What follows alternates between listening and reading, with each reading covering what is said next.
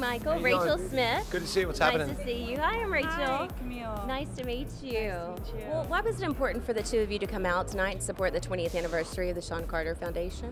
Jay does so much to make the world a better place. When he does something new, I always want to be behind him. And if I think about all the people in the world that I've worked with, there's probably not somebody I can think of that has done more to just do great things. And so we want to be here to, to support the cause. Absolutely. I mean, he supported you. You got to support him. He came out to your 4th of July bash. That is a big bash. Yeah, no, Jay actually helped me come up with the idea to start the White Party three years ago. Really? And um, you know, he, he's obviously spends the, the summers in the Hamptons, and he's always, uh, you know, anything I've ever done, he's always been incredibly supportive of. He's a great partner in business. He's Yeah. in our gambling business. He's in our fanatics overall, and he's just a great partner and a great friend. He's just a fanatic of yours.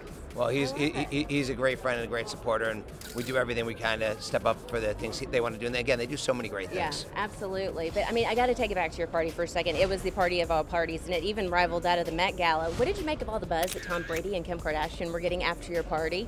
I, I, honestly, they're just friends. It's it's just the crazy rumors that, that get out there. How yeah. much time were they really spending together at your party? Uh, Tom was with, with me a ton of the night. We were having fun, and, and uh, you know, Tom just doesn't go out that much. So when Tom gets out, it's a rare sight. And by the way, Kim doesn't drink much, so I think Yeah. Kim's 10 or 12 shots she had, Tom being out, being fun, it just le- it just leads to rumors. Thanks to you two. Yeah, well, we're, all, we're all, we always want to make people have fun. How are you going to have fun at the Super Bowl party? Because that's always a must-attend event.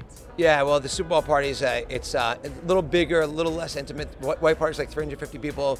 Super Bowl bar party is like 1,200 people. We do work to bring the best people together in the world, and Vegas is going to be incredible. I mean, our party last year in Arizona was great, and I think uh, Vegas will be even uh, that much more fun. How are you able to excel in that arena of merging athletes, entertainers together at so many occasions? You know, for me, I just love bringing great people together.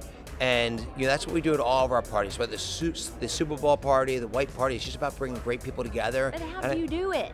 You know what? It's just honestly, it's it's all, we all support e- we, we all Yeah. support each other though. It's like honestly, we all like supporting each other. My friends always come out for what I do. I always go out for what they do, and it's just it's it's honestly it's a team sport. I'd say you have a strong lady supporting you as well. You're the party planner of the two, right? Always. Yeah. yeah she's running the show.